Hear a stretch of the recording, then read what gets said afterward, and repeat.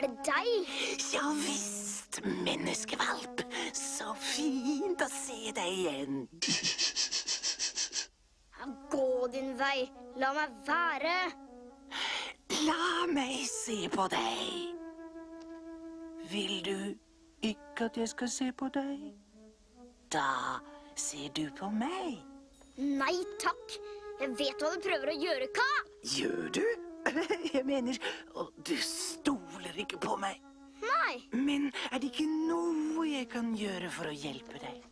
du vil hjelpe meg? Selvfølgelig. Jeg kan sørge for at du aldri forlater jungelen. Hvordan kan du gjøre det? Hmm?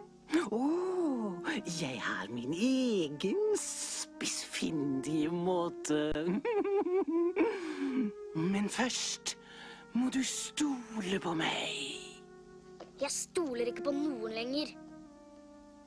Jeg forstår deg godt. Jeg er ikke som de såkalte godværsvennene dine. Meg kan du stole på.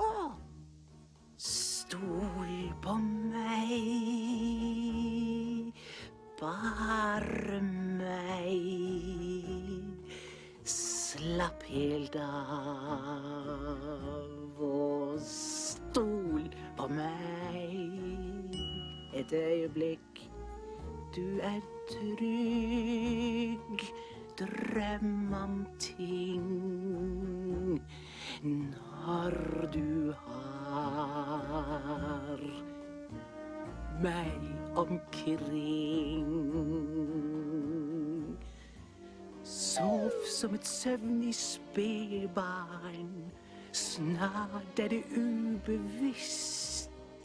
Sakte, men sikkert vil sansene sløves til sist. Du snorker. Unnskyld. Gjør som jeg og stole på meg.